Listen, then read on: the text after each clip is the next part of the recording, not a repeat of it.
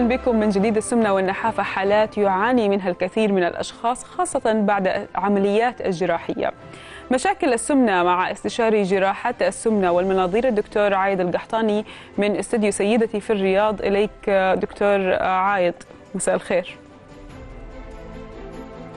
مساء النور ميساء شكرا لك مشاهدينا الكرام أهلا بكم في هالفقرة الجديدة اللي حاولنا نشارك معها في برنامج سيدتي إن شاء الله تكون متكررة معكم كل سبت. يمكن حاولنا كثير وفكرنا كثير إنه كيف ممكن إن نقدم لكم. هي شراكة مستمرة مع قناة روتانا خليجية. كنا مع الصديق العزيز علي العلياني في هلا والآن انتقلنا الآن إلى برنامج سيدتي بفقرة ثابتة كل سبت. وفكرنا كيف ممكن نقدم لكم شيء ونواصل هذا أو هذه المكافحة للسمنة ومحاربة السمنة ومحاولة مساعدة الناس اللي عندهم أوزان عالية وعندهم مضاعفات للسمنة. ويمكن وجدنا أن أفضل حل هو أن نمثل كأننا في العيادة. بالضبط الأسئلة اللي بتجينا في العيادة من المرضى نحاول ننقلها لكم من خلال هذه الفقرة. يمكن أول موضوع فكرنا فيه وهو كثير من الأسئلة بتجينا في العيادة بيقولون يا دكتور إحنا بنسوي عمليات سمنة وخايفين يصيرنا هزال شديد وضعف شديد فهل ممكن إنه يصير هالشيء بعد عمليات السمنة؟ هذا سؤال مهم جدا إنه آه نطرحه لكم ويكون هو أول موضوع لنا اليوم إن شاء الله بس خلينا قبل ما نطلع على هذه الأسئلة والمناقشات وإجابة أسئلتكم إن شاء الله على هالموضوع. حيكون عندنا فقرة متكاملة. يمكن عندنا جزئين في هالفقرة. الجزء الأول نتكلم على بعض المواضيع الرئيسية أو موضوع مختار ونعطيكم معلومات عليه. وأيضا الفقرة الجزء الثاني هو نستقبل اتصالاتكم ويسعدنا وراح تنزل لكم إن شاء الله التليفونات وطرق التواصل الشبكة الاجتماعية وكل الأمور اللي ممكن توصلكم لنا والتي ممكن نعطيكم من خلالها بعض الأجوبة المفيدة لكم. بس خلينا نطلع على تقرير يتعلق بموضوعنا اليوم موضوع نقص الوزن بعد عمليات سمنة. هل ممكن أن يؤدي إلى نحافة شديدة؟ والأسئلة اللي تدور في دماغكم.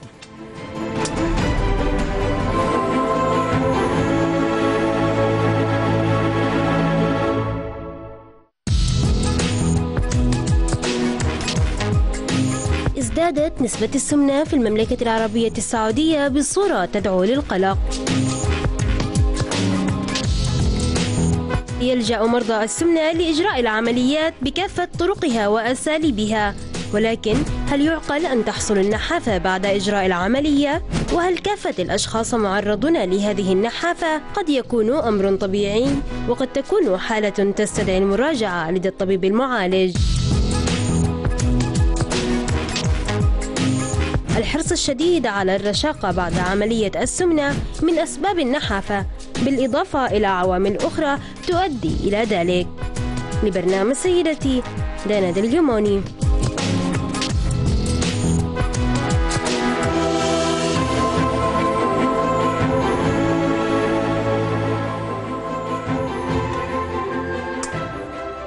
مشاهدينا الكرام شاهدتوا في التقرير بعض الحالات اللي تمر بها الأسئلة ويكون فعلا هي أسئلة متكررة لأنه والله بعد عمليات السمنة هل ممكن تحصل لنا نحافة شديدة؟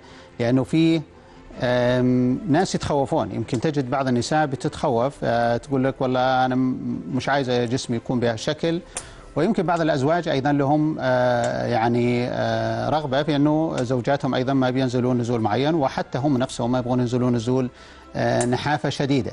يمكن بعضهم حتى ما يبغى يصل إلى الوزن المثالي يقول لك والله إذا أنا المفروض وزني 70 لا خليني 80 85 فهل ممكن يصل هالشيء؟ وكيف ممكن ما نصل؟ إذا إحنا نبغى ما نبغى نصل له هل ممكن في آلية معينة بعد العمليات ما, نسويها وما نصل إلى هذا ال ال الوزن الشديد؟ هذه أسئلة مهمة جدا وتكرر معنا يمكن ما في مريض نشرح له العملية إلا ما هذا السؤال في ذهنه. يعني منهم اللي يسأل عن نزول خاصة نزول تحت الوزن المثالي. يعني هذا طيب الجواب إيش هو؟ الجواب إنه يعتمد على عدة أمور. أول أمر هو نوعية العملية، نوع العملية مهم جدا لأنه في عندنا عمليات في الغالب راح ينزل الوزن أكثر من الطبيعي ولكنها عمليات نادرة ما تجرى لكل المرضى.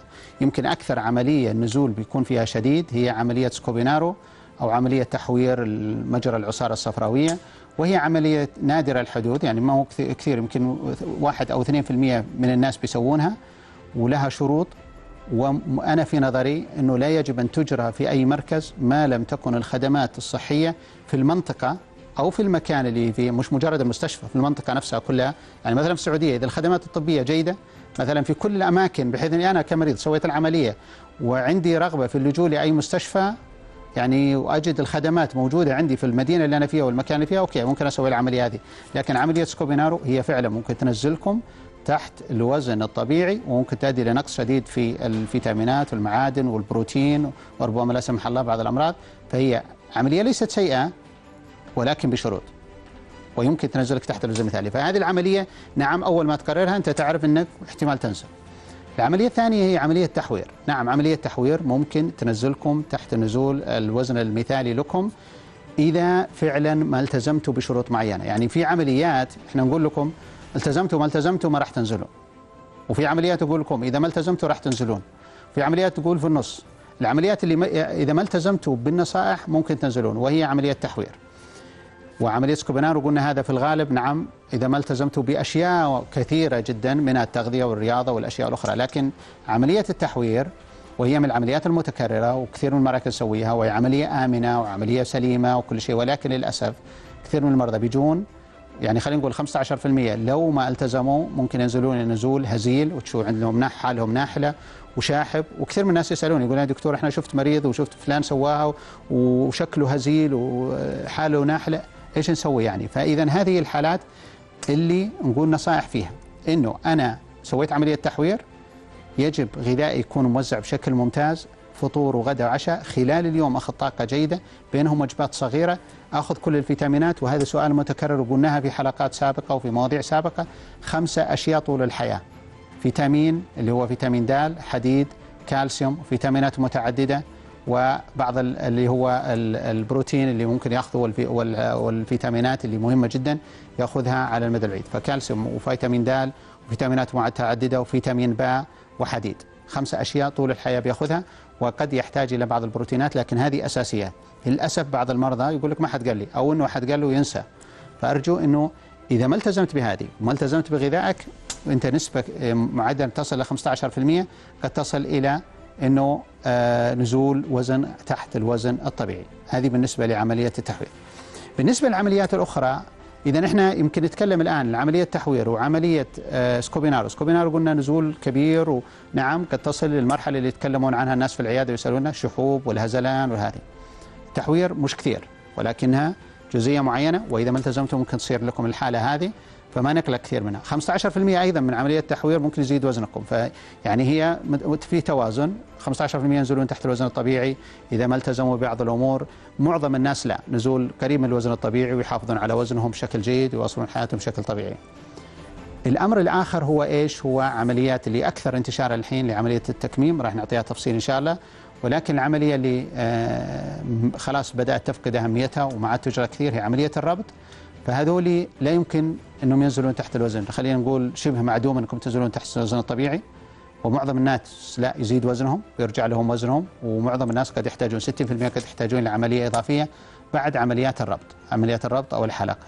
هذه بالنسبة للتفصيل. بالنسبة لعملية التكميم وإن شاء الله إنه نحاول نجاوب أسئلتكم عليها وعلى عمليات أخرى إنه هي عملية من النادر إنك تنزل تحت النزول تحت الوزن الطبيعي. ومن النادر إنك تصير خامل اللي هو الأسئلة اللي بتجينا بتكررها من الناس أو إنه يصيبك شحوب كامل ولكن ذكرت هذا يمكن في حلقات سابقة للأسف إنه كثير من الناس ما بيلتزمون ببرنامجهم الغذائي بعد العملية ولا الرياضي بعد العملية. والبرنامج الغذائي فطور وغداء وعشاء و يعني وجبات بينهم. فإذا أنت أخذت هالوجبات اللي هم فطور وغداء وعشاء وثلاث يعني يعني مثلا وجبات صغيرة بين الفطور والغداء والعشاء ونظامك الغذائي جيد واختياراتك سليمة خلاص ما كانت فعلا تجد إنك ما كانت مسوي عملية حياتك طبيعية. بينما في الجانب الآخر وتجد ناس سووا تحوير وتشوفهم أنت في حياتك اللي يسمعونا الآن شوفوهم حياتك؟ هازل ونحيل وأشياء معينة. هذولي فعلا لما تسألهم تجد إنهم طنش فطور طنش الغداء طنش ربما أحيانا الوجبات اللي بينهم ربما حتى المواد التعويضية اللي قد يحتاجها مش على طول قد يحتاجها ما يلتزم فيها. طبعا عندكم الاتصالات إن شاء الله تكون معاكم مشاهدينا الكرام راح يكون عندنا فاصل وراح نحاول ناخذ اتصالاتكم إن شاء الله بعدها وراح نناقش أيضا بعض الأمور المتعلقة ب النحول وتغير الوزن الشديد اللي الناس ما ما يرغبون فيه بعد العملية وهل هذا يصير؟ وما هي الشروط اللي نصير فيها؟ إن شاء الله بعد الفاصل وأتمنى إن شاء الله طبعا عندكم طرق التواصل سواء تليفون أو الشبكات الاجتماعية ونراكم إن شاء الله بعد الفاصل. أنت متفوقة معها. والطموحة معها. أنت السعيدة معها. الرابحة معها. معها. أنت الشابة الدائمة. سيدتي سيدة المجلات العربية. سيدتي نت معك أثناء دراستك. معك في مملكتك. ومجلة سيدتي لكل فرد من عائلتك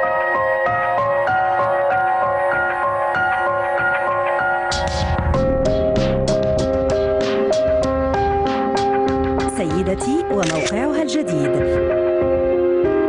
لكم ومعكم كل لحظة.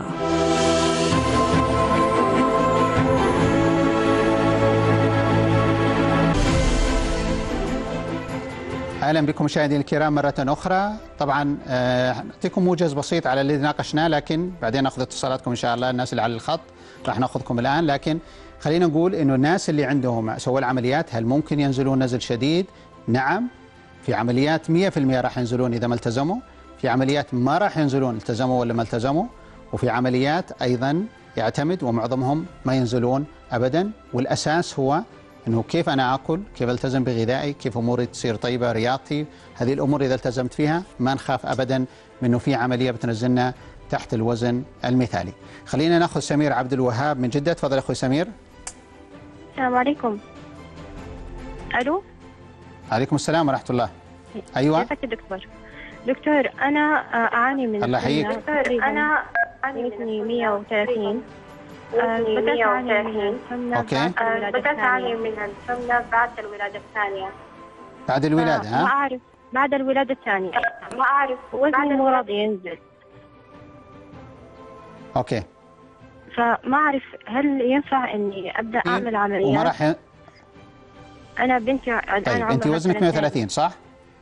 نعم. طيب انت وزن انت وزنك 130 صحيح؟ 130 حاولي تس... أي حاولي تسمعيني من التليفون وقفلي التلفزيون علشان على طول ما يكون في صدى إذا وزنك التليفون. 130 وأنت الآن عندك آخر مو... آخر مولودة سنتين عمرها سنتين طيب سويتي حميات ورياضة وأشياء أخرى ولا لا؟ حاولت أعمل رجيم لكن الوزن ما ينزل غير 5 كيلو ويرجع يطلع فأنا أفكر إني أعمل عملية يرجع. بس ما أعرف إيش نوع العملية المناسبة طيب انت طيب آه اسمك أروى صح؟ عفوا روى طيب روى سميرة. شوفي. اسمك روى صح؟ سميرة, سميرة. طيب معلش سميرة. طيب آه في طيب أخوي أخت سميرة شوفي أنت وزنك آه بالوزن هذا وبالمحاولات اللي أنت حاولتي تنزلين وزنك فيها نعم تصلح لك العملية بالنسبة للناس نعم. اللي ما عندهم يمكن ناقشها إن شاء الله في حلقات سابقة علاقة الولادة والحمل بال- بالعمليات السمنه لكن أي واحد تجاوز ثلاثة إلى ستة أشهر بعد العملية ما أنصح إنها تسوى قبل ستة أشهر استثناء ممكن تسوى لظروف يعني مرضية شديدة لكن بعد ستة أشهر من الولادة ممكن تجرى هذه العمليات. وبالوزن اللي عندك اللي هو 130 كيلو نعم تنصح لك وتنطبق عليك شروط العملية. والشرط الأساسي اللي انت أيضا سويتيه إنه للأسف بعض الناس يصحى من النوم يقول لك يا دكتور أبغى أسوي عملية. نقول له لا فكر أول شيء. سوي حمية ورياضة. نعرف الحمية اللي صار معك يا سميرة إنه ينزل وزنك 5 كيلو يطلع 10 كيلو. هذا معظم 90% ليست مشكلتك وأنا دائما أقول للمرضى ليست مشكلة المريض هي مشكلة البيئة البيت الأصحاب العمل المدينة كل هذه الأمور عوامل ضد إنه ينزل وزنك للأسف. يعني أنت بتنزلين آه، تشدين وتحاولين تسوين آه، حمية ورياضة بينزل وزنك آه، وقت معين ولكن العوامل هذه تنجح للأسف تتغلب عليك ووزنك يرجع مرة ثانية ومعظم الناس 90% يمرون بهذه التجربة. لكن هذا يدل على إنهم حاولوا حاولوا قدر الإمكان يتج- يتجنبون هالمشكلة. فإذا إحنا نقول نعم أنصح لك بإجراء عملية سمنة وكلام النزول لكل وزن بعد العملية. هل ممكن يصير بهزال أو شيء؟ يمكن ما نناقشه كثير عشان ضيق الوقت ولكن هو سؤال دائم يطرحونه الناس. شكرا سميرة. آه، فضل من الأردن. تفضل يا أخي فضل. مساء الخير دكتور. مساء النور. حياك. الله. الله يعطيك العافية دكتور عايد اسمعني اسمعني. الله يعطيك العافية أخوي فضل. اسمعني آه، من. التليفون مباشرة علشان ما يكون في صدى وقفل التلفزيون. نعم. نعم. دكتور بدي أسألك بس بالنسبة حاب أعرف بالنسبة لعلاقة النقرس بالسمنة أنا كنت كان عندي لحد اليوم عندي سمنة وكل ما أعمل آه، حمية غذائية آه، يزيد عندي النقرس واليوريك أسيد برتفع دائما من اللحوم اللي باكلها ومن آه، ال- البرامج الغذائية والحميات اللي بتبعها فحاب أستفسر شو بالنسبة لايش كيف بامكاني آه، وزني 125 100 ممتاز. 135 هلأ 135 هلا. طيب شكرا أخوي فضل. سؤالك مهم وحجاوبك إن شاء الله عليه. طيب آه بالنسبة للحمض اليوريك أو الح... نعم النقرس أو آه حمض اليوريك. خلينا نأخذ سعاد وبعدين نجاوب آه، فضل. سعاد من لبنان. تفضل يا سعاد.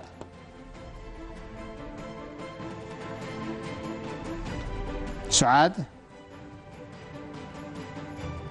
طيب خلي على بال ما يكون سعاد جاهزة. ناخذ نتكلم نشرح لفضل وجوابه سؤال فضل على النقرس. النقرس نعم يعني مترابط آه، كلي بين حمض اليوريك اللي هو مرض النقرس. هو إيش هو؟ يزيد حمض اليوريك في الدم ويترسب في مناطق معينة منها الأصابع إصبع القدم وما إلى ذلك. وغالبا في المعتاد انه يجي من اللحوم ولهذا قالوا إنه مرض الملوك وما شابه ذلك. لكن في السمنة الأيام هذه ما عاد مرض الملوك مرض الناس البدناء. يعني آه، معظم الناس البدناء عندهم حمض يوريك عالي. والشيء الجميل إنك إذا نزلت وزنك بيروح منك حمض اليوريك. فأنت اللي أنصح فيه طبعا إذا كان عالي مستوى عالي جدا فينصح بأخذ أدوية المضادة لحمض للنقرس وهذه تذيب ال- ال- ال- الأملاح وتحاول تفرزه مع البول وتمنع ترسبه أيضا أثناء الإفراز. فهذه مهمة جدا بالنسبة لك إذا كان عالي. أما بالنسبة لي إذا كان إنه آه، مستوى مع- معتدل آه، 500 600 في المعدل هذا ربما فقط إنه إن شاء الله بإجراء العملية قد آه، تزول تماما كلها أو بنزول الوزن ايا كان لكن للأسف إنه الوقت الراهن فقط بالعمليات الجراحية هي الفعالة في نزول الوزن. فبنزول الوزن آه، بشكل كبير والمحافظة عليه تشفى بإذن الله من من النقرس تماما فما تقلق منه إن شاء الله أخوي فضل. سعاد من لبنان تفضل يا سعاد. آه مرحبا دكتور عايد كيفك؟ الله؟ يحييك تفضلي آه دكتور أنا عندي أيوه سؤال تفضل يا كثير- انت معي على الهواء طيب أنا يعني أعتبر إنسان نحيف بس أنا عندي كرش كثير كبير يعني ع- يعني مش عارفة شو أعمل فيه إنه كثير مؤذي المنظر طيب. ف... انت وزنك مش مش. عالي بس عندك كرشك مزبوط وزني يعني 57 بس يعني طيب. بس أعتبر في شيء 7 كيلو كرش okay. طيب هل أنت آه، بعد حمل ولا في- آه، حمل حمل متكرر؟ لا مش مش ولا ما, ما عندي أولاد. يعني بس انما بطنك بارز يعني. آه. ولا في رخاوة في عضلات البطن؟ ألو؟ اي ما في رخاوة في عضلات البطن سعاد؟ مش عم بسمعك دكتور. عض- عضلات البطن راخية؟ يعني مترهية ولا عضلاتها را- را- مشدودة؟ إيه إيه. لا راخية راخية عضلات البطن كثير طيب خلينا نجاوبك. شكرا سعاد حنجاوبك إن شاء الله. طبعا آه، يمكن على جواب الأخت سعاد إنه آه، بالوزن هذا ليست لها علاقة في معظم الحالات بالدهون اللي في البطن. هي علاقة بتركيبة البطن أو بأشياء أخرى. قد إن شاء الله ما تكون في أشياء أخرى وما أبغى تقلق آه، أخت سعاد إنه لكن خلاص إحنا نقول إنه الدهون لن تؤدي إلى هذه المشكلة لأن ما عندك دهون. فلن تؤدي إنه بطنك يكون بارز زي سمنة الرجال اللي يكون عندهم كرشه أو شيء. إنما يجب إنه في طبيب ربما طبيب جراحة عامة أو آه، زملاء في النساء والولادة لكن ربما الجراحه العامه يكون افضل ان يقيمون البطن وسلامته، هل البطن مترهل، العضلات قوية؟ جراحة التجميل عامل مهم، الزملاء اللي في جراحة التجميل يمكن خلينا نقول هم أفضل من يقيم هالوضع، ربما إذا كان عندك ترهل شديد في عضلات البطن وانها خلاص لم تعد آه، يعني آه، متماسكة ولو إنه هذه عادة تحصل بعد الحمل المتكرر، لكن إذا هناك أسباب أخرى داخل البطن وهو نادر إن تكون أسباب أخرى داخل البطن ما لها علاقة بالدهون أشياء أخرى فيجب تقييمها وهذا الحل. لكن ما في ما في علاقة بين السمنة لأن ما عندك سمنة بين ترهل البطن اللي عندك وأي مشاكل في الدهون وما إلى ذلك. آه يعني نأتي إن شاء الله لختام حلقتنا اليوم. إن شاء الله نكون أعطيناكم هي جرعة بسيطة. كل سبت إن شاء الله راح نعطيكم إياها على السمنة ومشاكل السمنة. ونحاول قدر الإمكان كما ذكرتكم في البداية إن نمثل كاننا في العيادة والمريض يجي بيسألنا بالضبط إيش عنده. ونحاول كل يوم أو كل أسبوع نعطيكم آه إجابة على أسئلتكم في العيادة اللي إن شاء الله تكون. ونحاول كل سبت هي إن شاء الله معكم وأيضا أتمنى خلال هالأسبوع الأسبوع اللي يسبق الحلقة آه، حيعلن عن موضوع ربما في الشبكات الاجتماعية على موقع سيدتي وأيضا على موقع الخاص وعلى الفيسبوك وعلى صفحات مختلفة. ويسعدنا أن نتقبل أسئلتكم سواء بالتليفون. يمكن هذه أول مرة نعطيكم خدمة مجانية يعني على على روتانا خليجية. رقم خاص ما في تكلفة ما في شيء بتتصلون عليه مباشر ثابت. صحيح اللي من برا المملكه يمكن يكلفهم شيء معين لكن آه، إن شاء الله يعني ننتهي ونترككم مع الأخت ميساء آه، مغربي ونلقاكم إن شاء الله الأسبوع القادم. أخت ميساء لك البرنامج. نعم شكرا لك استشاري جراحة السمنة والمناظير الدكتور عايد القحطاني آه، طبعا كانت فقرة جدا مهمة لأنه خصوصا الفترة الأخيرة صرنا كثير فعلا نعاني من آه، موضوع السمنة في الخليج خصوصا وصارت من الدول الأعلى نسبة آه، في السمنة. فإن شاء الله نكون بنحاول نوعي وإن شاء الله نأثر على الأقل ونحاول نخفف من هذه النسبة.